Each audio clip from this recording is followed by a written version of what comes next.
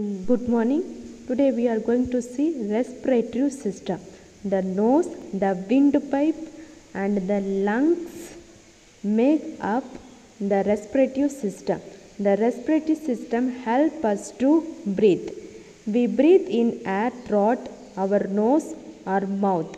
The air then goes down through the windpipe and reaches the lungs. The air we breathe is in called inhaled air and the air we breathe out is called exhaled air. Next, nervous system.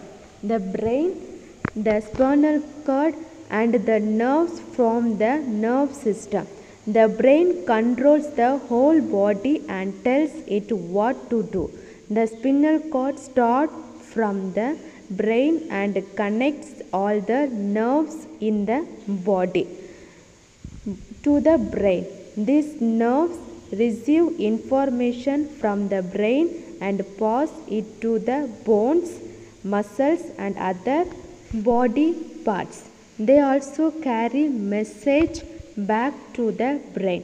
Next we are going to see circulatory system. The heart, the blood and the blood vessels form the circulatory system.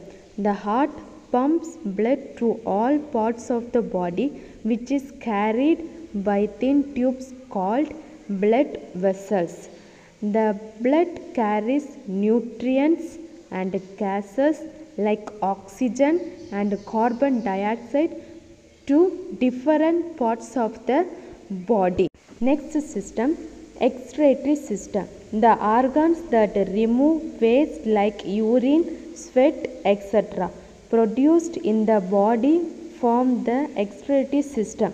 The kidneys remove waste from the blood and form urine. The urine is stored in the urinary bladder and comes out through the urethra. The skin removes sweat and the lungs give out carbon dioxide. That's all. Thank you.